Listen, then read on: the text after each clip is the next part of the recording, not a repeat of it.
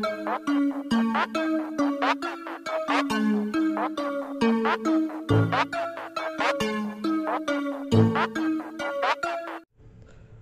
what's going on, people? Your boy, Mad Mike, coming at you guys with more Atlanta Falcons news. And if you're new to the channel, hit that subscribe button. Tell your friend to come chat Falcons football with your boy. All right, let's get straight to it, man. Um, the rookie players, you never know what they can do until they play. Now, this is a philosophy um, that Dean Pees is pretty much uh, employed for the most part. They said in the press conference, if you've not had a chance to check out the press conference, um, you know, that's definitely something to look out for. We talk about a guy that is, when you talk about geniuses, a guy that's incredibly intelligent, and when you just listen Dean Pees, look, he just captivates you, man. The dude is just absolutely brilliant. But talk about rookie players, man, and I say this all the time, all right? And this is one of the issues that I had with the Falcons' previous regime, where they just did not want to play young guys and to see what they could do. Um, you played all these guys in in preseason, right? And I, I know there was a lot of fuss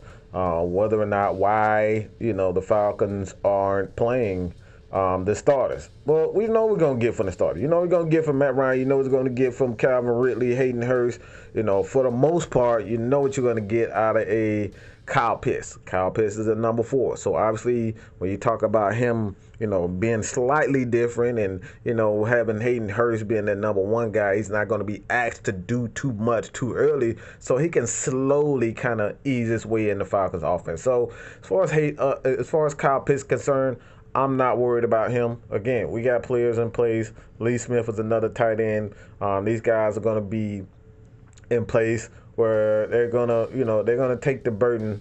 Um, you know, they're gonna take the brunt of the load as far as offensively early in the season, and then as time goes on, Kyle Pitts is gonna get more and more comfortable with not only the speed of the game, he's gonna get comfortable with Matt Ryan, um, and he's just gonna be able to naturally play.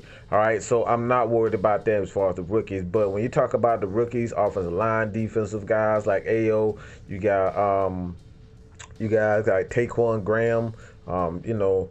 Uh, a lot of young guys, all right. Richie Grant. These guys are going to be expected to play um, a lot uh, in, you know, in third down. They're going to be asked to play some special teams.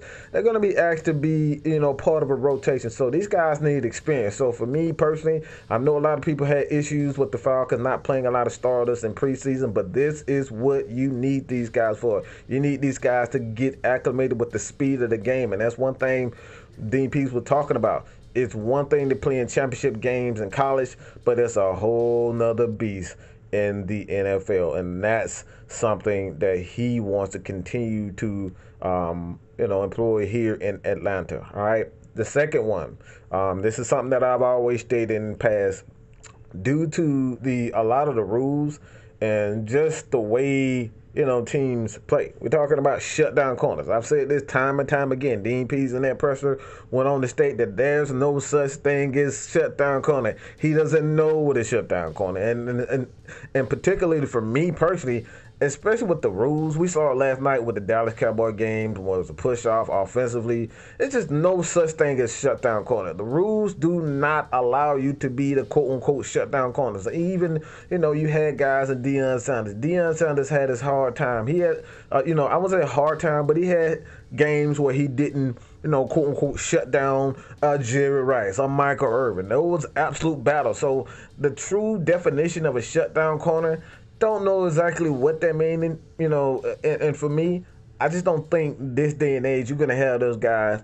You're gonna have, you know, times where guys are gonna completely uh, shut down a, um, you know, wide receiver, uh, an opponent. So when you always talk about, when it always come down to it, man, um, you know, uh, the shutdown corner is just a thing of the past. But this is probably the most important thing that I got out of the uh, the press conference, and this is something that we've stated several times um, with the Atlanta Falcons, and, and you know Dan Quinn. You look at his defenses, and the days of stationary players are absolutely gone. You have to move players around uh, with motion, and you know play different spots. You got to be able to play different spots. Guys like Deion, who can play inside, outside, Foye, inside, outside.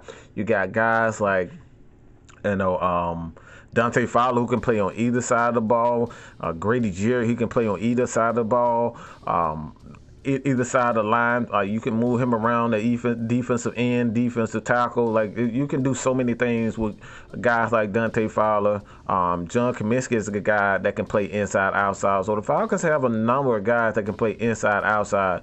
And in Dean Pees' system, he likes to move guys around. And one thing that stood out to me in his press conference, is he's pretty much stated that, um, you know, offensively – um, guys want to know where the mic is, and oftentimes, you know, in Pees' system, you don't know who's going to be the mic. It could be Foye one guy, it could be Deion, it could be, you know, Mykal Walker. A lot of these guys are just going to be moving around. There's a lot of moving pieces, and that's what causes a lot of issues. So it causes a lot of issues um, with the offensive line first, because offensive linemen they want to know what their assignment, they want to know what you're doing, they want to know exactly you know, where guys are going to be because you don't want guys coming free. So when the quarterback, all right, the quarterback is obviously a guy that you want to keep an eye on, but if the quarterback is in the pocket and he's sitting there and he, you know, he has a free release, he has two, three seconds to sit in the pocket and get rid of the ball.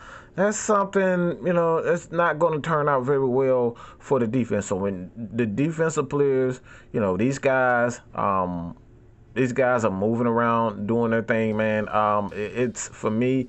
I think that causes more issues with the defense, um, with offenses more than anything. And this is the power of having a guy like Dean Pees. You have no idea who's the mic, who's coming um, from snap to snap. He's a guy that likes to rotate personnel out. So the Falcons, a lot of these rookies to have every opportunity to see the field and do what they do best. So let me know what you guys think about this. Continue to support your boy here at Mad Mike Sports. All right, I'm gone, baby. Peace.